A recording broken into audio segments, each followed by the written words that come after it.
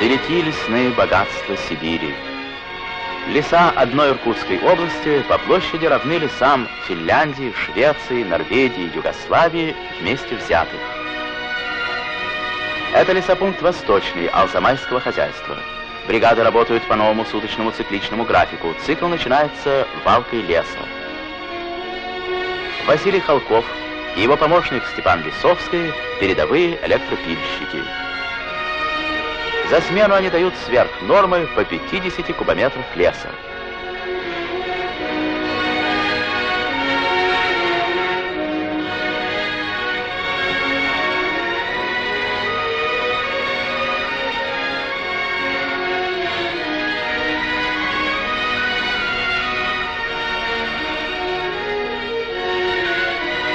Продолжая цикл, тракторист Григорий Кошечкин подвозит древесину трелевочным трактором к узкоколейной железной дороге.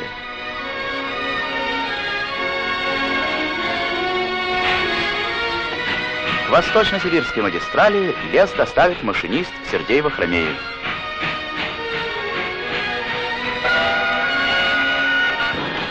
Сибирский лес идет на многие стройки страны.